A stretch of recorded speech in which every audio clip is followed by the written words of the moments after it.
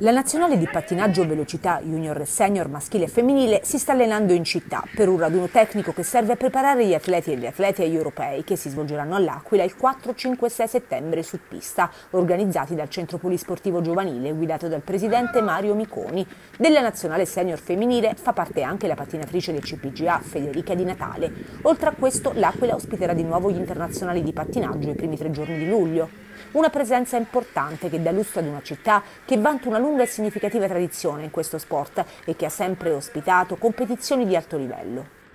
Eh, è una bella cosa, sì, sono arrivati eh, ieri eh, tutti quanti gli atleti della, della, nazionale italiana di pattinaggio, sia junior, categoria junior che senior, eh, sono qui in ritiro mm, nell'Hotel Canadian e si allenano qui nella pista di Santa Barbara per i prossimi campionati europei che si svolgeranno presumibilmente dal 4 all'11 settembre e la pista considerato che è molto difficile è stata prerogativa del commissario tecnico Massimo, Massimiliano Presti di portare la nazionale qui ad allenarsi e a testare la pista.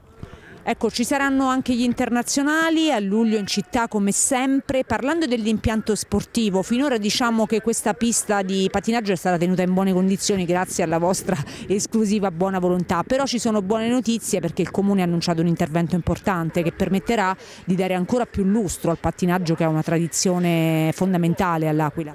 Sì, è vero, il sindaco Biondi in prima persona ci ha assicurato che verrà fatta eh, la manutenzione, ma non la manutenzione, una manutenzione straordinaria della pista, quindi una ristrutturazione completa della pista, anche perché è volontà eh, dell'amministrazione di far diventare eh, questa specialità, il pattinaggio, il fiore all'occhiello della città dell'Aquila come lo è sempre stata. Noi ospiteremo a luglio gli internazionali d'Italia Open, compresa la Coppa del Mondo, mondo